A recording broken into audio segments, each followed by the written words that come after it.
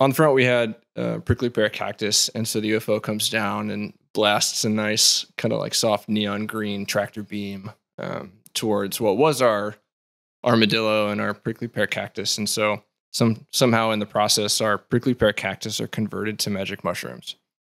And not only are they converted to magic mushrooms, but the the UFO is harvesting the magic mushrooms and, and ripping them out of the ground, presumably to take back to um, whatever planet that they're from that doesn't have their own version of magic mushrooms.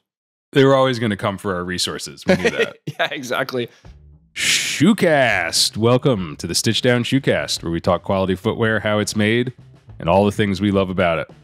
I'm Ben from StitchDown.com, and today we're quite excited indeed to be chatting with Graham Ebner, who is, and he would likely claim to disagree with this because he's a swell guy, but I'm going to say it anyway, kind of the next big thing in bespoke cowboy boots.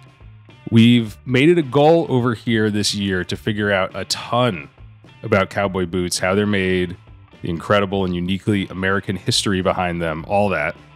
Uh, we had a blast talking with Lisa Sorrell, one of the all time greats in the field last season. Um, go check that episode out. It's one of our all time favorites. And we can't wait to chat with Graham to get in even deeper today. But before we get to Graham, we just need to give a special Shoecast shout out to our sponsor this week, Grant Stone.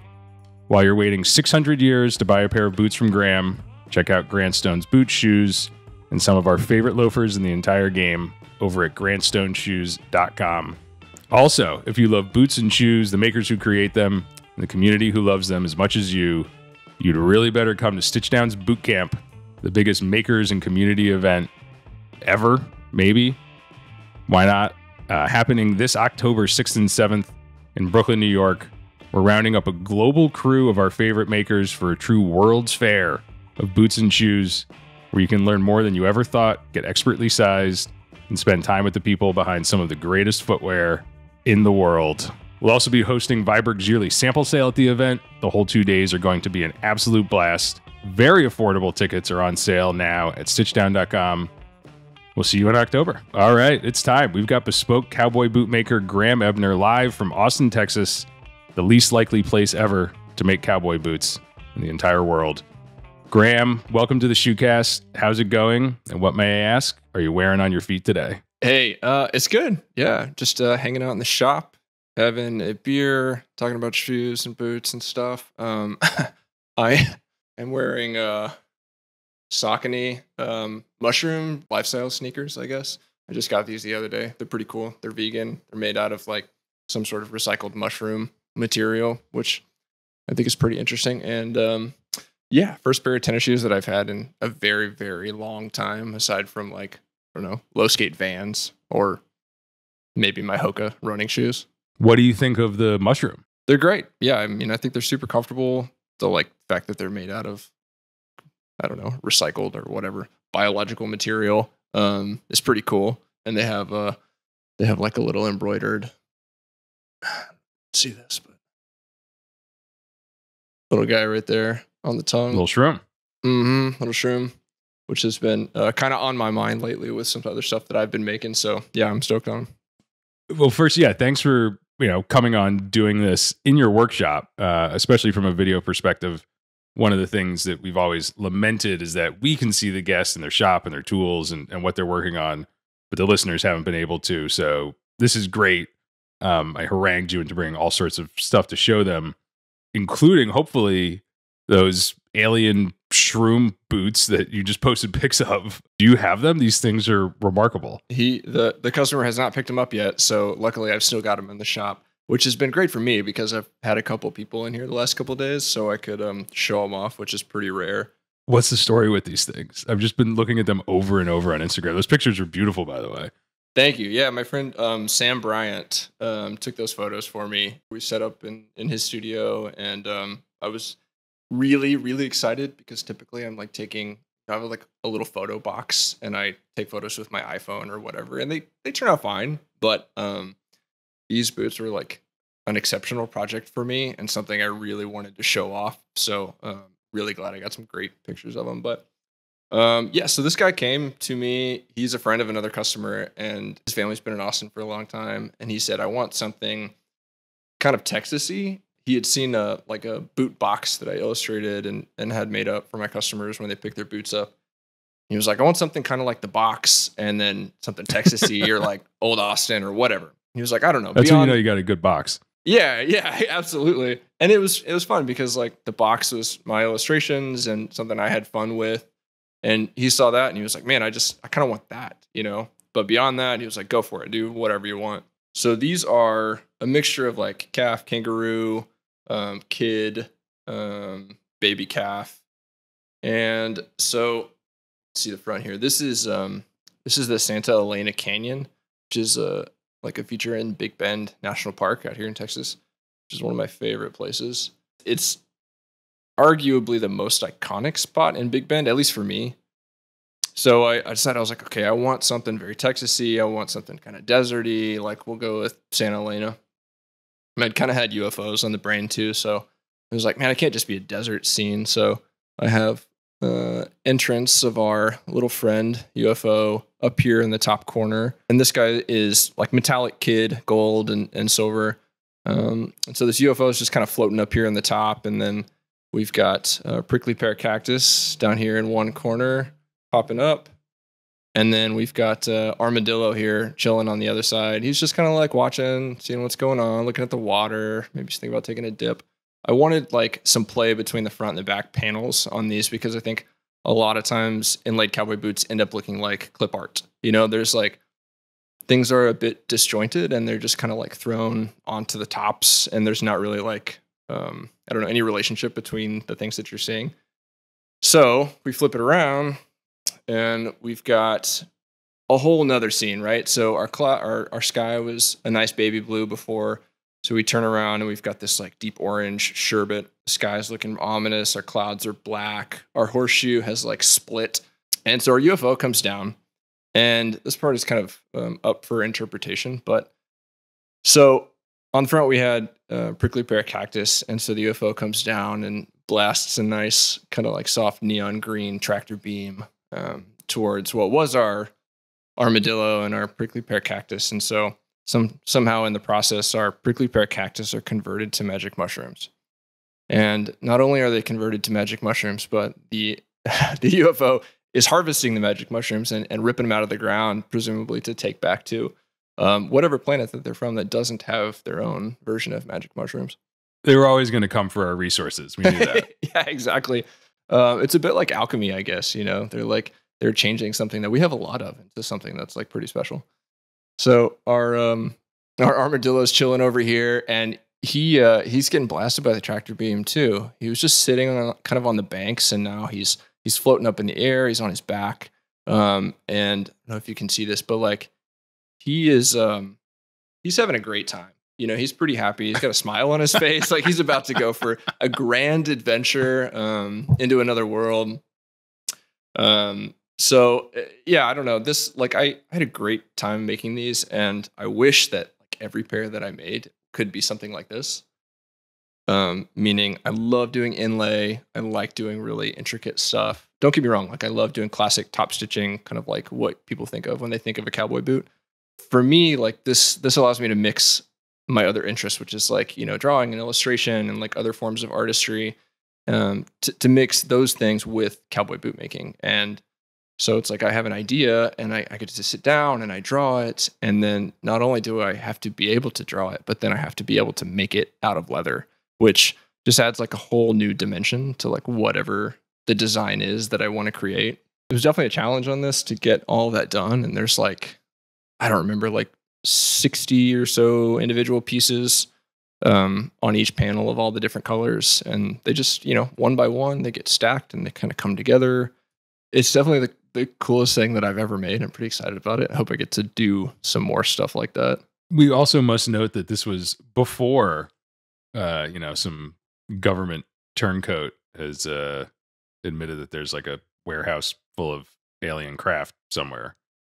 It's but like it's like two days ago that came out in the news. You were way out ahead of it. yeah, they actually asked me. Um, I do a little bit of like government PR, and they asked if I could um, maybe kind of soften the blow a little bit by bringing attention to to things like this. So um, I think that with a little bit of Instagram traffic, I was able to accomplish that for them. uh, it's like you know pertinent, but also a distraction, um, which is what they always want. Exactly. You know what? I mean, if this is how the game is played, it worked out because these boots are just astonishing, man. Like they're so cool. They're so cool. Thank you. Thank you. And they fit too, which is um, arguably the most important part. I definitely had the thought I don't know if he's really going to wear them, like, or are they just going to end up on the shelf in his house, which to be honest, I'm totally okay with. If somebody came to me and they were like, hey, I want something crazy. I'm never going to wear them. They are going to be sculpture or whatever. I'm going to put them up on my shelf in my living room. Let's do it. Absolutely. I don't care. Because I've got stuff like that at my house too, or I have a shelf of boots right here next to me in my shop. And, um, you know, I like pretty stuff to look at and I love looking at vintage cowboy boots. And, but, um, he's going to wear these a lot. And, uh, Really? he told me the other day, yeah, he ordered another pair. Kind of, uh, I'm not going to say similar, but um, we had a similar interaction where he said, "Hey, I have this one idea, um, and that's all I'm going to give you. What can you do with that? What can you come up with? Like, just go for it. You know, have fun." I'm grateful for that too. You know, they're pretty. Um, I think that uh, I'm really happy with my work, which is saying something for me. But uh, I'm I'm glad that he's going to enjoy them, not not just looking at them at home, but actually wear them out out and about. How much of this design and that story, like that very legitimate story that is baked into them, was the customer and, and how much was you? Like, what was that process like? Um, yeah, this is all me. And there's a photo of these boots sitting on the box, which um, kind of makes sense. You kind of see the story jump from the box to the boots, which is cool. And that wasn't my intention when I made the box. I was just like, hey, these are things that I'm interested in. I love to draw. I definitely like, you know, kind of cartoonish illustration. And I really need a boot box. And lots of makers that charge a lot of money for boots. When you pick them up, they hand you the boots and you walk out the door, and that's it. And um, I don't know. I just kind of wanted a little bit of a more well rounded experience for people. And like I found a pair of um, vintage Acme's at a garage sale here in town. And, uh, you know, Acme's are really cool, but they are not um, the pinnacle of quality when it comes to like vintage cowboy boots for the most part. But they had great branding. And um, anyway, so this pair of boots had the original box from like 1950 or 1960 with the boots. This is insane that not only are these boots still around, but they still have their like original box and sales receipt um, with them. and I was like, man, okay, 12 like in, bucks. yeah, yeah, exactly, exactly. Like in you know fifty or sixty years, if if uh, somebody comes across a pair of my boots, it would be really cool if they still had the box. So I thought, well, I, I want to make it attractive enough that people will want to hold on to it, you know, and display it. It's kind of big, so they need a kind of a big spot on their shelf, but that's you know that's not my problem. So um, I drew the box, and yeah, he uh, he really gave me kind of carte blanche to do whatever. He said, you know, do something Texasy and go for it. And um, basically, what he said, he was like, don't put a bunch of weed or like pot leaves or anything on that because like I don't smoke and I don't want to have to like explain that to my wife. I was like, okay. Anyway, so let's put on something that could just be construed as normal old mushrooms, exactly, which is what the aliens really came for. They're just hungry. Yeah, yeah, he was excited and he was into the mushrooms and like the imagery that that went along with those. Um, so um, I- wish every customer was like that and they would just come and and say, you know, here's a loose idea of something that I'm interested in.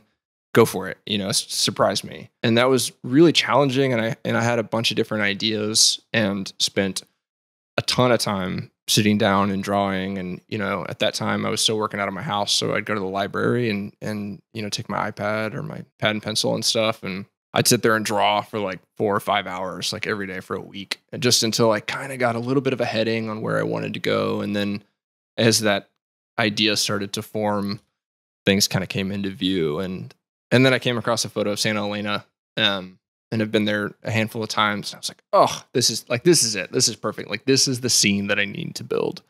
Man, yeah, I'm like such a big believer in you know these the boots that we love and the shoes that we love. You know, they're nice and the way that they're made is really interesting. That story and you know how these kind of techniques emerged is fantastic. And you know, with certain brands and companies, especially the ones that have been around for a long time, and you know, kind of what they meant. Like, it's not just how they look and how they fit and how they feel, but the stories behind them. But that's like a bigger picture story, you know, like to take that and then to to bake in like some real well thought out literal storytelling into this boot is I don't know, man. It's cool. It's like it's it's a different level. I guess if somebody asked me like what what is it that I want to add to this, that's it. Like cowboy boots have a really long history of being, know, really wild and over the top. Um, but the last I don't know, maybe 20, 25 years, I would say things have gotten a lot more subdued, especially with like different factory styles and whatnot. But if you go back and you look at the cowboy boot books and you look at stuff from the 1940s or, or you know, the 30s, 40s, 50s, whatever, the inlay and like the artistry that that you see in those photos is just tremendous. And like the sky was the limit. Like they were making absolutely crazy stuff. And I look at that and I was like, man, like this is my inspiration. Like I love these things. Um, you know, and they you could look at like a nudie suit, um, you know, kind of like the vintage embroidered Western wear kind of stuff that all the old Western stars were wearing, and and like the imagery that you were seeing on those were really similar to what they were putting on boots at the time. And so when I was, you know, kind of coming up in this and, and learning, like we made a lot of crazy stuff at the shop. Like I was really lucky to get to work on a lot of intricate artistic boots. So when I eventually went out on my own and I was thinking, you know, like what's my what's my thing? You know, like I'm a good bootmaker. I understand this. I can do good work, but like what do I add to this? It was like I don't know, I guess it's me. Like I want to add like my artistic take on whatever it is and just use cowboy boots as kind of a canvas. You know, like I want to draw, I want to paint, and then take those ideas and make a boot out of it. Um, which, at least in my mind, that's what those early makers were doing. You know, like it was they were making cowboy boots, but like they were making art more than anything, and like that's the most interesting thing to me. I'm pretty sure you've only been at this for like five years or something. Can you just take us through it? I uh, I grew up wearing boots. Um, I am solidly from the suburbs. I'm going to make that very clear. I am not a cowboy. I did not grow up on a ranch. I did. My I, my dad had a couple of horses loosely when I was a kid. Um, so I did ride a fair amount and, and did some stuff like that. But I am firmly from the suburbs. Were you wearing cowboy boots? Oh yeah, absolutely, absolutely. Um, and I I grew up next to like a big equestrian facility, but like like I said, you know, like in the burbs for sure. And uh, I I sewed. Like my grandmother taught me to sew, um, and we would make clothes or quilts. She was a big quilter, still is. Um, and I loved it. I loved making stuff. Like we would go over to her house, you know, I don't know, five times a week or whatever, and we lived with them for a while, and we would just sew. That's all we would do. So eventually, um, this was like 2014. I had a pair of uh, Red Wing Iron Rangers that had just fallen apart. Insole had like ripped out, you know, like the gemming had come off the the insole, and I had no idea what was going on on the inside of this thing, and I was desperately trying to figure out how to fix them. And internet resources were kind of scarce at that point. I was calling shoe repair shops and asking if they could replace the insoles on these, and they were just like, "Nah, that's not really how it works. It's not worth it. Whatever." And I am a tinkerer and a tear it apart, put it back together kind of person at heart. And I was like, oh, forget it. Like I can do this. So I didn't. Um, I just continued to like, you know, obsess over uh, the few resources that there were on the internet. Um, and eventually, like after looking through um, Lisa Sorrell's videos, which were a huge thing at the time for me, uh, watching all like the boot life stuff. There's so many of them. They're so good. Oh my God. And this like, you know, there were some resources, but it was like a cowboy boot forum, right? So a bunch of, you know, old bootmakers or whatever, people who thought they were bootmakers. Um, it, those are two separate categories. There are a lot of good bootmakers on the forum. um, you know, they're posting things, but if you don't have any context for what they're talking about and what the processes look like, it doesn't really do you any good, right? So I'm watching a boot life video. I am devouring um, Brian the Bootmaker's Instagram at the time because he was doing a ton of repair, um, especially then. And I and he posted a lot of like in-depth progress photos. This is how I'm, you know, preparing my insole. This is what I'm doing with my welting. You know, this is how I'm, you know, using a jerk needle to in, inseam.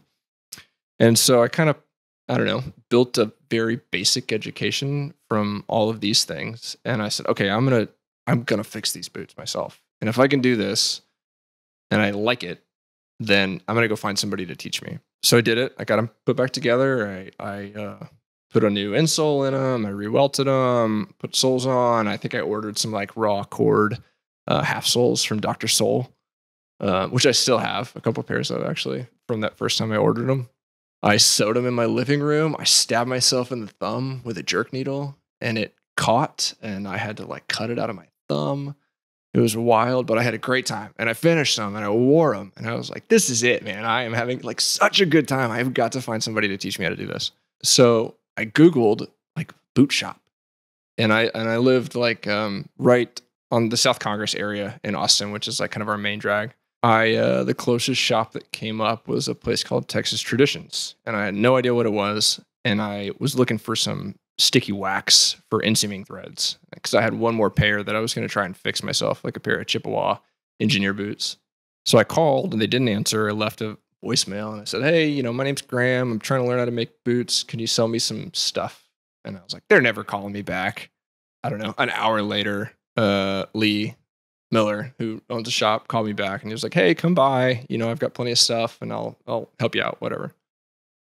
So I went over there. He kind of gave me the tour and gave me some just a bunch of findings. You know, some like inseaming threads, um, like tapered hand threads, some sticky wax, and, and I went home and I kind of kept at it for a little while, and then I kept going back because I was like, okay, here's somebody that's willing to teach me. And and after I went, I was like, I started doing some research, and I was like, holy shit, like this place is amazing. Like this is the place. This isn't just a this isn't a shoe repair shop, number one.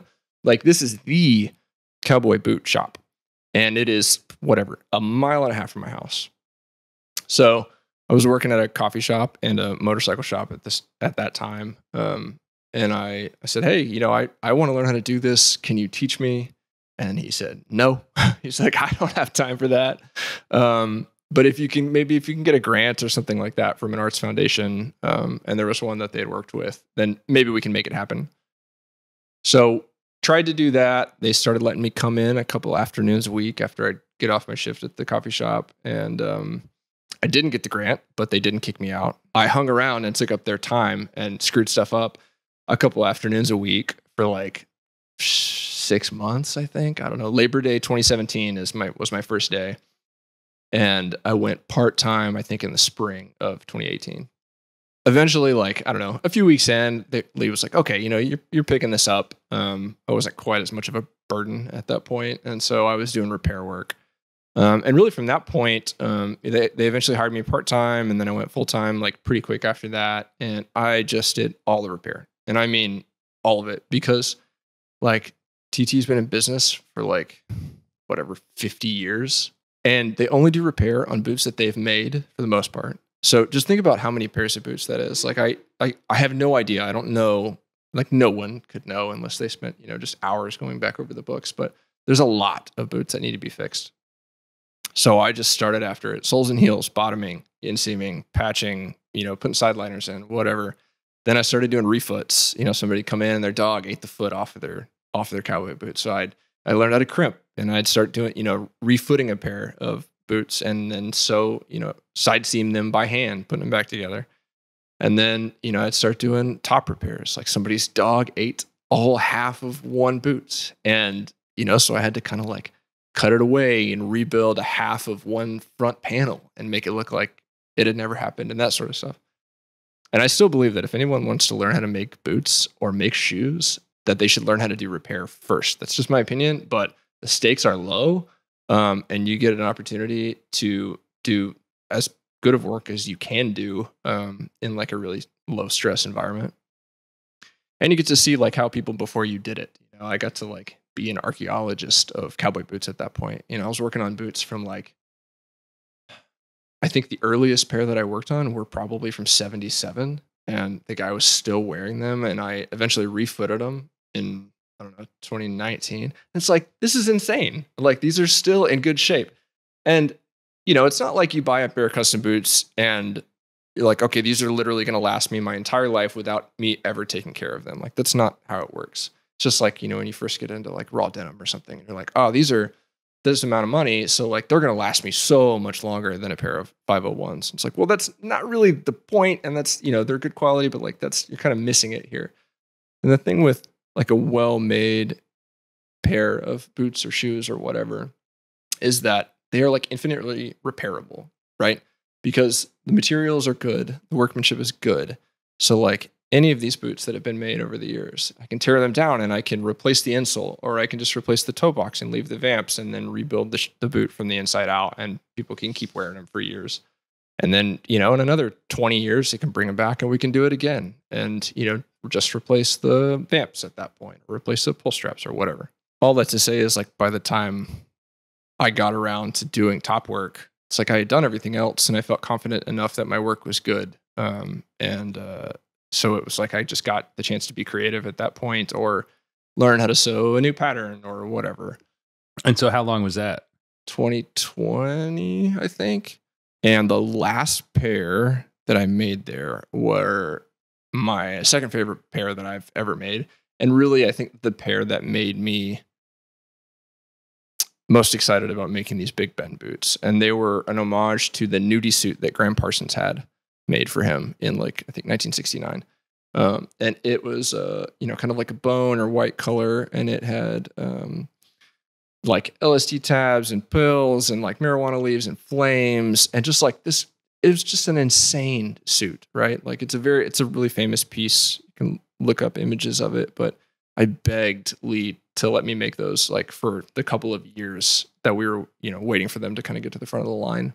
So i finished those and um and I, and I will say and i have to say that like everything at that shop was a collaborative effort. You know lee is the owner um, and like the master. And so like we were all lucky enough to like have a great teacher and to learn the right way to do things. And he was gracious enough to uh, allow us to like have a hand in, in the actual process, you know, like in the big show of making a pair of boots for somebody that was paying a lot of money and had waited a long time to get them. So he would do measuring and he would build lasts and he would do artwork most of the time, um, unless it was like, you know, maybe something easy, just a stitch pattern. And then he would hand it off um, to one of us, Charlotte or me, and we'd get after it. So I begged for, yeah, like two years to make those Gram Parsons boots because um, we'd listen to them a lot in the shop too. And I was so excited about it. And so when the time came, they, they uh, let me have my hand in making them um, along with Lee and, and, and Charlotte aside from these Big Bend boots, that is my absolute second favorite pair of boots ever. Now it's time to strike out on your own. Yeah, pretty much. I just like hit that point where um it was just like there was some life stuff and and I was feeling restless and I had turned 30 and I was just kind of ready for something different. Um it was an incredible place to learn to make boots. Um and I'm very very lucky that I got to to learn there. I don't think, and this is just my personal opinion, but I, I, think a lot of people will agree with this, that it is, if not the, it is one of the absolute best cowboy boot making shops. I mean, I will say in the country, but like, you know, it's, there's not really that many outside of the US. So like, you know, in the world. Um, like Lee is up there with kind of our, our latest round of, of old guard, you know, like among, uh, you know, Lisa Sorrell or Eddie Kimmel or, um, I don't know, Jack Reed and uh, Ray Jones and all these other makers. Um, so I, I don't know. I just kind of woke up one day and I was like, man, I think I'm just ready to go. I need to do something for myself. I want to try this to see, I don't know, see what I'm made of and see the kinds of things that I can create. Um, I had a kind of a different vision for what I wanted my bootmaking career to look like compared to what the traditional model is. And when I say that, I mean most cowboy boot shops are custom shops. So you walk in and you have an idea. You want a pair of Dallas cowboy boots, or you want a pair of Whataburger boots, you know, a fast food hamburger place, cowboy boots, whatever. It doesn't matter. I didn't want to do that. Like, I didn't want to just make anything that people walked in with. Not that there's anything wrong with that. I don't mean that. Um, but it wasn't something that I was personally interested in. And I think when it comes to this, like, you can you can be excited about the quality of the work and the way that you execute something and you can also be excited about like the art um, the artistry and the design of what you're making right? Sometimes you can be excited about both and sometimes you only get one. And i uh, had gotten to do both for a long time um, for you know five years um, but there was a lot of stuff that I, I didn't enjoy making because you know it wasn't my personal style right And there's a lot of shops like that that exist where they will make you anything that you want and they'll do an incredible job of it, right? Like they will make they will make your dreams come true and you will be able to wear them on your feet. And I think that's a really cool thing. It's just not what I personally wanted to do. I wanted to find a way to like express my personal, I don't know, creative bend. So I wanted to have more control over the things that I was going to make. I love making traditional stuff. I love top stitching. I love a classic cowboy boot, and I make that. And I made, I mean, that's most of what I've made this last year. But stuff like this, the Big Bend boots, um, and a couple other pairs that I have coming up, like uh, about to do a really heavy floral inlay. Um, I have some kind of, um, I don't know, kind of Day of the Dead boots coming up later this year. Um, things like this that are full of, I don't know, intentional design, um, things that you don't normally see on cowboy boots. It's like that's what I wanted to do. Basically, I just wanted to draw and uh, get paid to like turn my drawings into cowboy boots for people who wanted them, which I'm trying to do, and it's working out so far. Love it, man. So, one of the things that makes me, you know, especially this last year, just want to constantly learn more about cowboy boots is the the craft and tradition and in some ways like the mystery of all that. You can certainly learn to make cowboy boots in all sorts of ways these days, like including from the internet. I feel like from when you started, you know, the number of people that I know, not necessarily making cowboy boots, but you know, just boots, um, who have learned exclusively online, you know, without any sort of tutelage, and they're making fantastic stuff. I feel like that's changed a lot, especially in the last like half decade, which is great. It is, yeah, it's a good thing. Uh, yeah, I mean, I love it, and I've seen the results, and it's like it's it's kind of mind boggling in a lot of ways. But it also seems like there's this magic that gets transferred in those teacher student relationships, the best versions of which stretch back multiple generations to some of the all time greats that maybe can't be absorbed any other way. Like, am I totally off base there? I think that's probably the case with like a lot of craft or you know handcraft work, whatever you want to call it. Um, and uh, you know, like I like I said, I'm I started off looking at the internet, and I'm really grateful that there are resources for people now who want to get into this but can't find someone to teach them because it's really hard. Like it is really hard to find someone who's willing to take time out of their schedule to teach you how to make something. You know, to take the take you on the burden of your I don't know ignorance or whatever um, and show you how to do something. Like it's a big deal. And so, like, if anybody is lucky enough to find an apprenticeship with somebody, like, thank that person, like, to the end of time, because that's a huge thing. There's only so many people that know how to do this. And among those, there's only so many that have the time to teach, and even fewer that want to. You know, things like the internet resources, like, uh, I don't know, the Cordwainer subreddit or um, Deana McGuffin is like an incredible bootmaker in New Mexico, and she teaches now and has been for a while. It's like generally who I send people to if they're asking me where to learn where to learn how to make cowboy boots.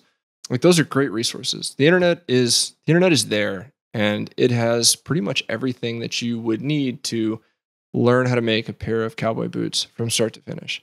But that doesn't, that doesn't mean that you necessarily know what you're doing at the end of that pair. And that doesn't mean that you've done good work at the end of that pair. And sometimes the difference in like I don't know, just completing the task and doing a really good job of it is just somebody to step to stand next to you and show you a couple of little tricks that their mentor taught them um, to like change change the entire outcome of your project. I think like if if people have the resources, the time and the money to go and learn from someone who's willing to teach like Deana, that is the best way to do it. There are people who are great bootmakers who are willing to take time to teach now.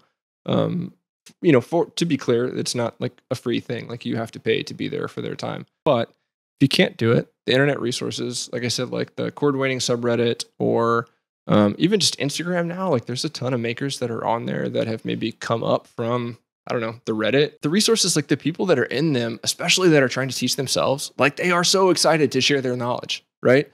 Um, and I think that's I think it's really cool. Like it's a really cool thing. Like I'm I'm not a competitive person.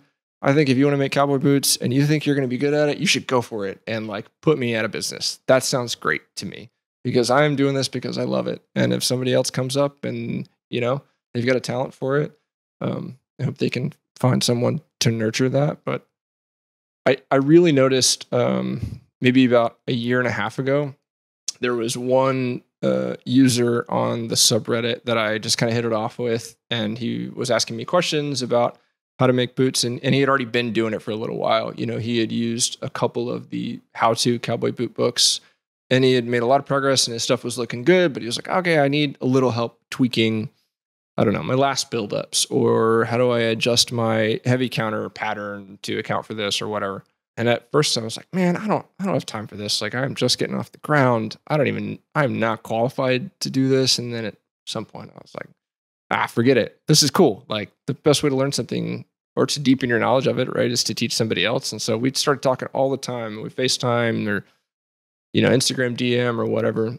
So I I found the subreddit after that and I was like, this is, I don't know, I feel like I just like walked into this like party that was hidden out of sight of all these people that wanted to learn to make boots and shoes. And I was like, oh, these are my people. Like I don't I don't have I mean I have friends that make boots now, but like I don't necessarily know a lot of people or didn't at the time who were like so eager that they were like, I'm gonna look this up on the internet and I am going to learn how to do this no matter what. Whatever resources are there, that's what I got. I'm gonna do it. It's like this is this is so cool. Like this is so cool that people are so excited about making footwear, whatever kind, that they're willing to like invest their time and money and be like, hey, strangers on the internet, look at this like crazy shoe that I just made. Help me make it not look like this. You know, help me make it look better. And then they they do, you know? And then some of those people are like taking orders and like have become really good craftspeople at this point. And I I don't know, I'm all about it. I think it's a really cool thing. I'm excited for the internet for the resource that is the internet. That sounds like a ridiculous thing to say because obviously, but you know what I mean. I do, and it's it's beautiful. It's all beautiful. Um, you term your boots, at least on your Instagram, simply really nice, really expensive. I feel like coming from anyone else, that would be hugely pretentious, maybe. yeah, but I think it still kind of you, is, but I, I would say you somehow managed to make it quite charming. But what, what does that mean to you? Why did you choose that? Uh, I appreciate that. Um, so this kind of goes back to what I was saying about what I did and didn't want to make, right? I had like a pretty clear idea of where I wanted to head artistically. Um, and in order to get there, I felt like this all kind of stems from when I opened my books up last year. And I, I felt like I wanted to be really clear with people because I wanted to kind of approach this with a different mindset, being I don't just make anything that you want to make. Um, I didn't want to have to turn people away because I really hate doing that. And so this is really out of self preservation that I said, hey, look, I'm going to open my books. These are the things that I don't do, and these are the things that I want to do. This is how much stuff costs. These are all of the like nitty gritty pieces of information that people want to know. Like nine out of 10 times, if I get an Instagram DM, people are saying, How much do they cost? When are your books open? And I didn't want to like pass that question, you know, tell people, okay, they cost this much. I'm opening my books at this time, whatever. They take this long to make. And then get to the point where they were like, cool, well, I want this thing on my boots. And then I would have to say, I don't want to do that. I'm sorry. I can recommend you somebody else that would do that or whatever. I just decided to be really blunt, I guess, and um, you know, as far as the price thing goes, like cowboy boots can really easily be looked at as kind of a commodity. Like you can go to a Western wear store or Walmart or whatever and spend, uh, I don't know, you could probably get a pair of like Justin Ropers for like a hundred bucks or something. Um, or you could go to a Western wear store. You know, we got a million of those here in town, and you could spend, you know, two or three hundred bucks, um, and walk away with something that you probably be at least mostly happy with for a while. On that note, I will say I am not anti factory boot. Like I am uh, honest about how much my stuff costs, but I also know that they are really expensive, and for most people, that's not an amount they can afford to spend on a you know kind of a pair of like superfluous, but you know boots. I'm never going to shit on factory boots. I'm excited if people wear cowboy boots and if they find a pair they like from a store that came from a factory, like I think that's great. So most of the time, you know, you spend, you know, two, three hundred bucks. Um, so people are asking me when I'm opening my books, hey, how much are they going to cost?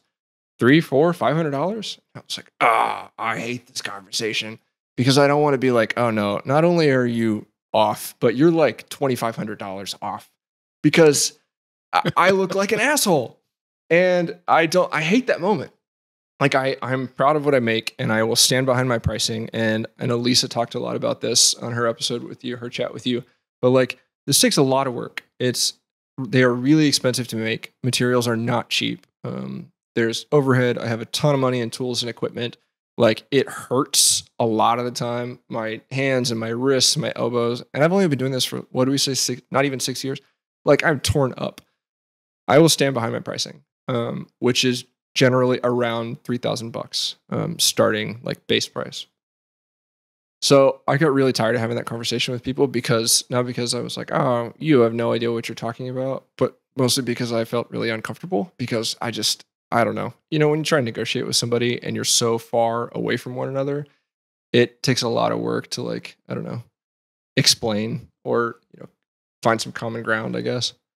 Anyway, all that to say is when I went out on my own and I opened my books, I really wanted to be clear with people about who I was, what I was making, what things cost, and what they could expect from me because it's a lot easier on me to do it that way. And then nobody's upset when I have to tell them no and I don't have to like go through that process, which makes me very uncomfortable. I think I was like talking to a friend who was doing some branding work for me and he was asking me, okay, like what like what do you want to say about this stuff, you know? Like what like what are you? Who are you as a bootmaker? Who's your what's your business, you know? And I was like, I don't know, man. They're just like they're really nice. They're really expensive. Like maybe uh and and he was like, He's like, stop. uh, what? And I was like, Got it. oh, oh. I was like, that's it. That's it. And I was like, yeah, it's a little cheeky, but I kind of like that. And it's clear. And it maybe is a little pretentious. I get that. But you know what? No one ever will walk in or like look at my Instagram or look at my box and think, uh, like they will have a clear idea of what's going on. You know, like I set expectations. Um, The stakes are set. Yeah. Yeah. Yeah. Um, and they are really nice. So, you know, I stand behind it. in these messages, especially with that, is you know the first thing they see before they message you. Do you still get people balking at the price? Is that a conversation that you've kind of lessened? Yeah, definitely. It has really mitigated that. Um, I don't like. I think the pricing is still on my page, like from my uh, books opening last year. If you scroll way down, but most of the time, you know, people look at what like your last nine posts or something, and I don't have my website link in my bio at this point, and so they're like, uh, there's not a lot of information, admittedly, um, and I'm working on that. But at the very least, they see really nice, really expensive, and um, so people that see that and still are curious about what's going on are usually really respectful and have an idea of what's going on um, as far as pricing. Um, and we can, you know, they shoot me a message and we can have a chat about it. And if it's something they're interested in, then I still have to tell them to wait because my books are closed at the moment. But it uh, it helps. It really helps. And I, you know, I want people to be comfortable, and I think it's helped with that. How long does it take to complete a pair of maybe you know quote unquote normal boots and then something more complicated like the the Shroom Alien boots? my base boot, which I consider to be like six rows of fancy stitching on the tops, um, 12 inches in height, kind of my standard heel height, um, no exotic leathers, stuff like that. But design, just some top stitching, um, still custom fit and all that stuff. About 120 to 140 hours. Man, so that's like you know three x what somebody making you know kind of a normal pair of lace up boot. Usually, like the forty hours is about the number that you'll hear from most boot makers in, in that realm. Most cowboy boot makers will tell you that too. And some of them are telling the truth. And some people work a lot faster than I do. Like I'm not slow. You know, like if I sat down with somebody that makes like two or three pair in a week and you said, okay, we're gonna inseam these, go, like they're not gonna smoke me. Like I'm I'm good and I'm I work at a reasonable pace, but I'm new and I want everything that I put out to be like the absolute best that I can do, you know? And so I, I do take extra time and I hope that I can get a little more efficient and get a little quicker at some point. It's not my main focus though. Like I just want to make the absolute best pair of boots that I can make. And so right now that takes me it, generally about three weeks. Like if it's just fancy stitching and the customer's foot isn't um, doesn't require like I don't know anything special. It's not really confusing me or giving me a hard time. Then about three weeks. Take a few days to set up the last, kind of block everything out and and uh, you know cut patterns and all that and uh, crimp and then kind of hit it. But if it's crazy, like the sky's the limit, I guess. I think I had I don't know, 200 and 225 or 240 or something like that, 240 hours or so in the Big Bend boots. Um, but it's like, how do you measure that? Like a lot of that, I had I had time in artwork, which I'm not really including in that amount, but I probably had like 30 hours in artwork because I'm a slow drawer mostly, you know. Um, and then you know it took me three full weeks to make the tops, I guess anyway, um, anywhere from yeah 120 to 220 250 hours or so all said and done. Yeah from a last perspective how does that work with you? Do people have to come in get measured all that like what, what's the process with the customer especially? Yeah so all all of my stuff is made to fit. So everyone gets a last that is fit to them from the toe flower patterns the top patterns everything is made to fit like that person's foot and their last. So people come here to my shop um, downtown austin and i measure them and take a kind of a combination of um, traditional and, and modern measurements um, like an ink imprint pedograph pencil tracing girth measurement profiles of different things, basically like anything that I can think of to give me just a little bit of extra information for when the time comes that I set their last up. Because I can like I can look at somebody's foot and be like, oh, okay, I'm noticing that you know this person is here. I'm feeling their foot. It's like kind of a fleshy foot, or maybe they have like a really high instep, or they have like a heel spur, or whatever. But like in like three months, when I start working on their last, all of that information is gone, right? I don't remember right. what their feet look like. and I don't really want to be like, hey, can I take a picture of your feet? Like, maybe I should do that. That would actually be really helpful. Maybe I'll start doing that. I have to give myself every little bit of information um, that I possibly can so that I can give them the best fit in their pair of boots at the end. Because, like, if they don't fit, unless they really just wanted a shelf piece, like, it doesn't matter. Like, that's my number one priority is, is to make them fit, to make them feel good to give them a pair of boots that they could they could walk, you know, all over town and walk miles and miles um, and still be comfortable without their feet hurting. So that is my goal. I know that you pulled out some tools for us, some of your favorites or most useful. What are you using there? What are how do you make these things and what gets it done? Okay, so these are what I like to call my close the shop down tools. So if any of these items go missing, I am very upset and I stop working. So, first thing I've got is um, this is my hammer. It is uh, kind of like a French style hammer, so it has a long, wide pane. Um, it has a fiberglass handle and a rubber grip. And if you look at my boot box, if you scroll down and look at the box, um, there's little medallions, you know, like in each corner of the top. And this hammer is one of those specific medallions. The hammer to me is this handle um, with this grip, only because when I started, uh, Lee gave me one of these, and it was my hammer, and it was really special. And so uh, I just like grew an attachment to it, I guess. And there is something about this like rubber grip and the fiberglass handle that makes it feel really good when you're using it. And I spend a lot of time, you know, hammering on things very hard um, with a lot of force. And so I have grown to like that hammer a lot. Second thing is I've got a pair of shank lasting pliers. Um, same thing. I, I these are pretty busted at this point, honestly. And in the video, I don't know if you'll be able to see it, but there's like a big chunk of silicon bronze, um, like soldering on top of these pliers because they broke. The top jaw of these pliers broke, and um, some maybe people are familiar with how these work, but these are for lasting in the shank, and so um, you kind of use this bottom tongue of the pliers is a lever. So if you're like grabbing the vamps on the lateral side of the boot, this kind of spoon shaped lever rests on the medial side and you use it to push against and it pulls the upper or whatever. So typically what happens is people start pulling on the uppers with these pliers and to kind of give a little extra pull and to push the pliers back down against the boot, they hit it on the top with a hammer. Well, if you hit it on top of a hammer, it's like old cast, like it breaks. So these were in a drawer at Lee's, and I pulled them out of the like I don't know kind of tool graveyard drawer, and he was like, ah, "If you can fix those, you can have them." So I took them to the motorcycle shop that I was working at, and we you know fired the welder up and um, brazed them back together, and I've been using them for I don't know six years, and I would really like a nice new set, but there's really no point because there's nothing wrong with these, and you know they have a cool story. I have a pair of um, Berg lasting pliers, 501s, which are the big guys. There might be one size larger, but this these are my favorite. I have um, a pair of the medium sized ones, and I don't like them. These are pretty hefty.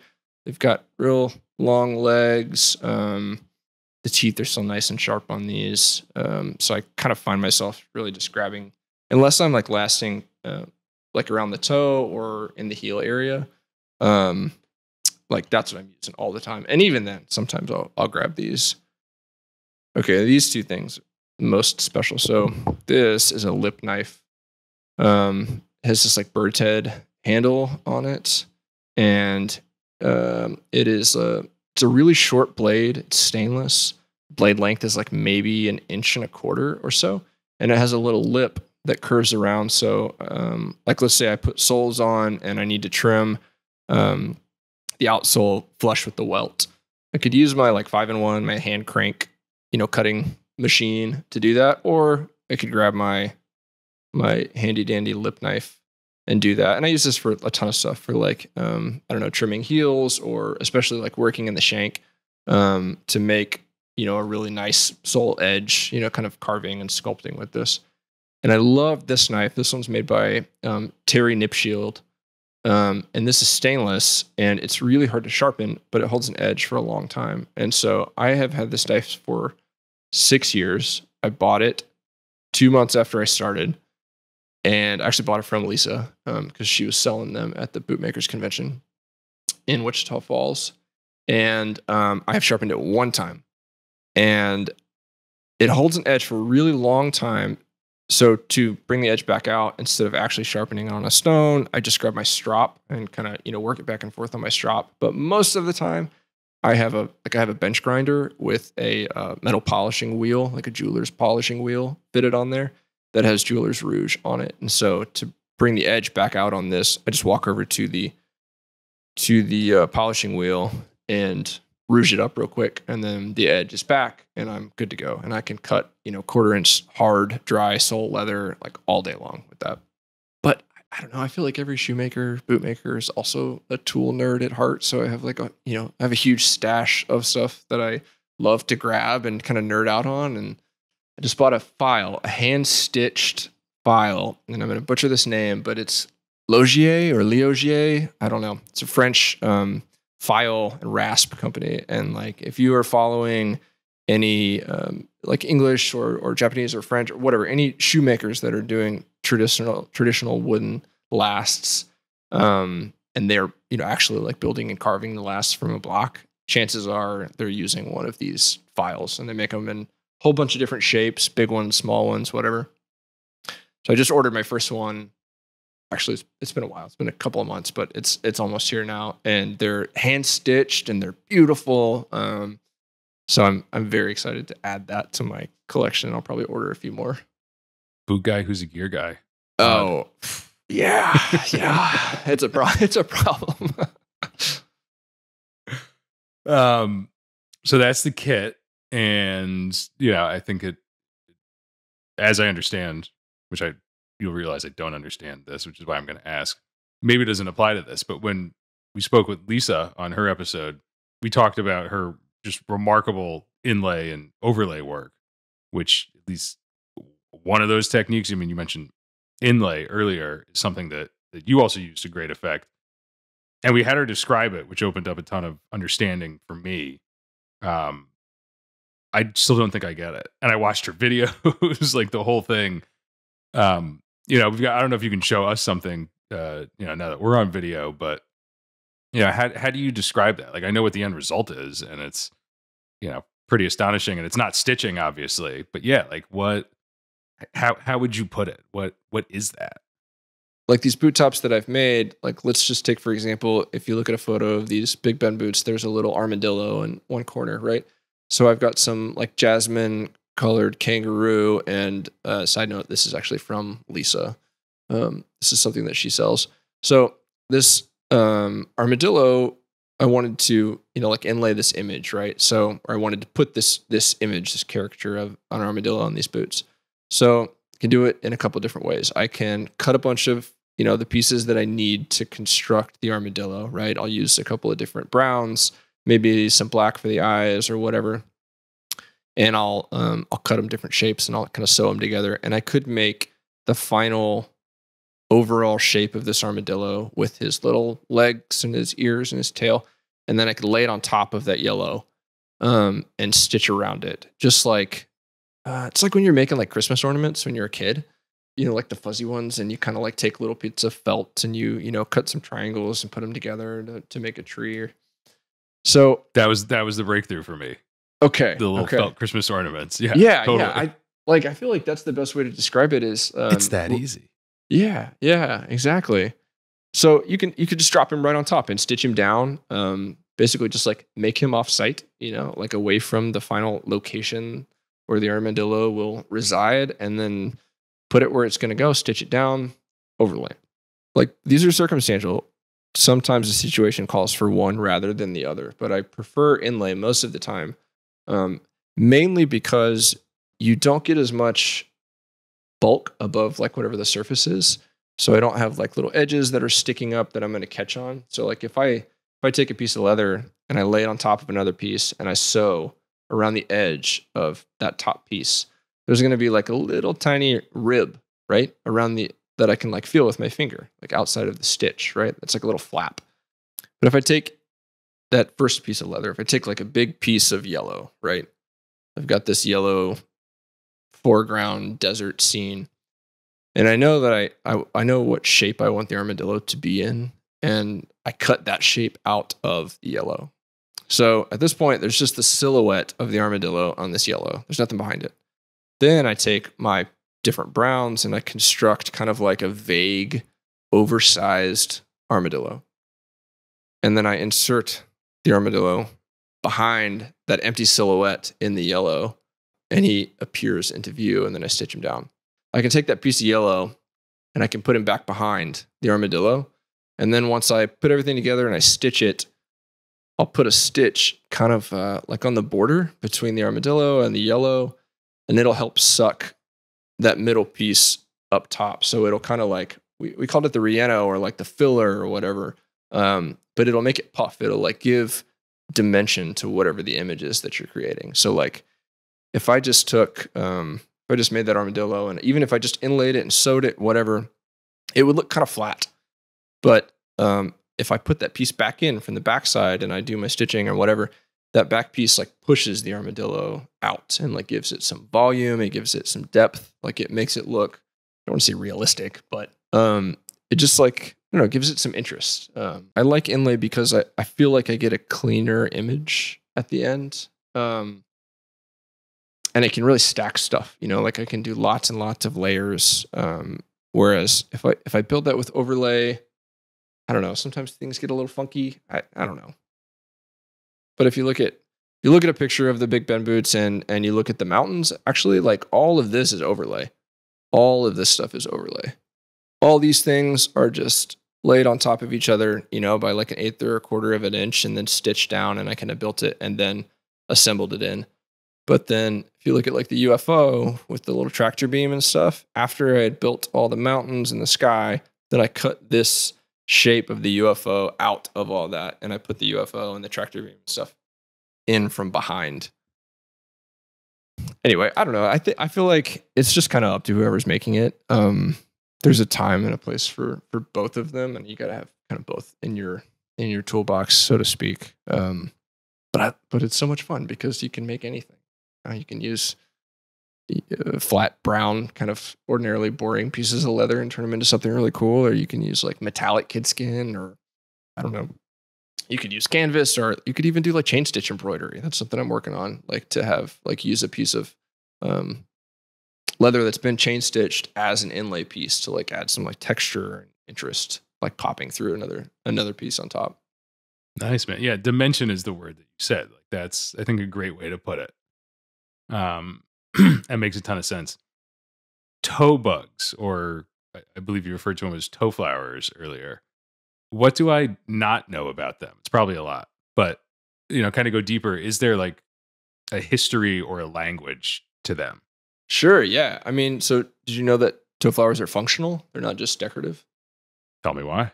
Okay, they can be functional. I should say that because a lot of times, especially if you look at a factory boot, they're in a location that lends them just to be decorative. But um, uh, toe flowers are, are really cool because they are there's something interesting to look at when you look down. Like they're they are a decorative piece, but the purpose that they serve is they control wrinkles um, going across the vamp. So if I have a totally plain pair of boots, there's no toe flower, there's no wingtip, whatever, there's no toe cap, anything like that. Um, wrinkles are just going to go wherever they want to go, right? They're going to go left, right, crisscross. You know, sometimes people will try and control them with like a brass rod and they'll kind of wrinkle them up in the right spot or a pencil or something like that. Toe flowers, um, aside from being decorative, they control that. So they send wrinkles. I don't know if we can see this in the video, but if you look at this one, I've got a few cords up front and then there's a gap and then there's a few more cords and then we kind of get up onto like the waist or the instep of the person's foot. So right here where these ribs are um, and there's like cording inside on the back of those like on the between the vamp and the lining um, it's not going to wrinkle right there right? That's really stiff. So it's going to take whatever tendency that this vamp has to wrinkle and it's going to direct it right in this little empty valley right across so i'm going to get one wrinkle right here and then I'm going to get one right there behind that last cord going up on like to the waist. Um, so I mean, it makes it look better. It's it's interesting. It's cool to look at. It's another location for you to design something, you know, like kind of put your own spin on it. Like lots of people have really interesting and wild toe flowers. Ray Jones, an old Texas bootmaker, is like that. He has a very very recognizable toe flower. It's huge.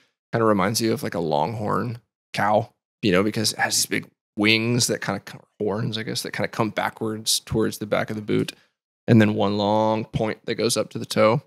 So I, I mean, I like them. I like them a lot. Mine's mine is fairly um, subtle, I guess is, is maybe the word. It's um, it's subdued. I like generally like to match toe flower stitching color to the vamp, unless somebody really wants something loud right there. And I I like kind of a a calm style when it comes to the toe flower. Um, some people get pretty crazy with it. I think that's I think that's cool. But um, and toe flowers are they're something that sets cowboy boots apart from other footwear. But if you look at a shoe with a toe cap or uh, I don't know a wingtip or, or something like that, like it's a similar principle. Like this isn't something new to the world of footwear that cowboy boots like provided. It's just like a different way to accomplish something that like people were already trying to do. So do most bootmakers have a signature toe flower and that's what you get? Or is it something that is is customized, you know, especially in the you know, the kind of like high end custom work that you do? for the most part, people have like a signature toe flower. They might have a few to choose from, um, but like I have one that's mine. Um, it is it is not like too dissimilar from a lot of other ones, frankly, and like a very kind of like classic design. Um, it has a few difference. Like there's there's kind of a nod to um, a vintage one that I really like, and there's a nod to a Ray Jones toe flower in there. But like overall, like it's it's pretty subdued. But it is mine. Um, if somebody didn't like it and they wanted a new one, then like I might design a different one. But they're um, being that they are kind of functional, like they uh, they take a little they take a lot of effort to create something that like achieves both of those purposes.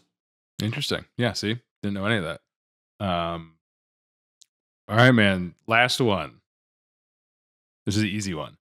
In an interview with Jennifer June in 2019, you quoted Ugh. famed Texas bootmaker Alan Bell, Mm, who said, A good bootmaker should never be totally happy with their work. mhm. What are you happy with at this point? And, and what are you just hopping mad at yourself about? Oh man.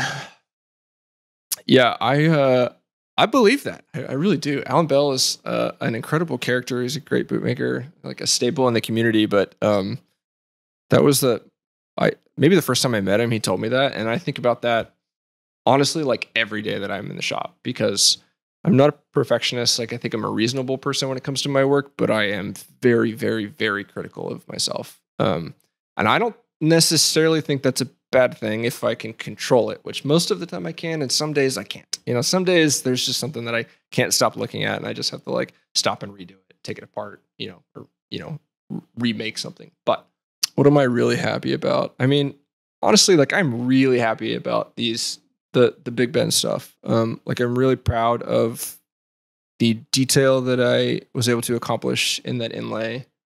I'm really proud of the design work that went into it, and I'm I'm proud that I was able to like do good work, execute it cleanly, um, but also like put um, kind of my voice into it, um, which is uh, not always something that's easy to do. Um, I don't think I'm going to tell you what I'm not proud of because I'm not sure that I want to give that secret away. I mean, I could, I could, I could pick out like ten things on every boot that I've made that I'm unhappy with. Um, like I think my personal scale of like how how good I did goes up to like I mean the scale goes up to 10, but I think realistically like my my 10 is like an eight and a half or like a nine. And uh but I, I don't know, I think that's good. Like I think like if you're not critical of your work, like nobody else knows what goes into it. No one can look at it. I mean, even even other ex like I'm not an expert, but like even people who have been around whatever field we're talking about, cowboy boots forever, and could recognize good work, like even they are not going to notice every little thing about your work. Um, They're complicated products, man. Like Yeah. there's a lot going on there. Yeah, they're they're dynamic. You know, there's a lot of different things that go into this. Um, you know, there's geometry and there's pattern making and there's artistry and some of it, a, a lot of it is cosmetic and a lot of it is functional. Um, so I, I don't know. I think at the end of the day, like I just I want to know that I did the best that I can do and pick out a few things that I can improve on. Um, and that's you know that's something that Lee taught me, and he has been making boots since like 1970. I don't even remember 75, 74, something like that. Like since he was a kid, and um, still, I'm sure he would say that he could pick something out of his latest pair that he could improve on. And I think like I don't I don't really believe in the concept of a master craftsperson, and I think like most people that I know who are really incredible craftspeople who are excellent bootmakers, like at the top of their game. I think most of them wouldn't say that they're masters, that they'd mastered their craft because they are so good and they are at the top of their game because they are constantly learning and looking for something to improve on. But at the end of the day, like I make every pair of boots for myself because um like I want to be happy with the work when it leaves. Like I want to be proud of what I did. So I don't know. I guess that's my that's my standard. But yeah, I'm not going to tell you what I'm unhappy about because then you'll be able to see it. I bet you get good at this one day. Thanks. that was good. Just keep it's a- pushing. Just it's a- yeah. it's a skill. Like it's definitely a mark of maturity to be able to recognize that your work is good or improving. Um, but I think it's really important to like have the humility to recognize that you still, no matter how long you've been doing it or how good it is, or how many likes you get or comments or whatever on a photo, or how many people tell you how much they love them. Like at the end of the day, like you can always improve on something, and I think that's really important. That I don't know for me anyway. I love it, man. Um, look, gotta call it somewhere. Huge thanks to Grant Stone for sponsoring this episode. Wyatt and crew will be holding it down at boot camp this October in New York, uh, and would love to hang. So get your tickets today at stitchdown.com. Graham, thank you so much for this, taking us inside your world. Absolutely. This was really fun. Thank you for having me. All right, that's it for this week. Take care of your shoes. We'll see you next time.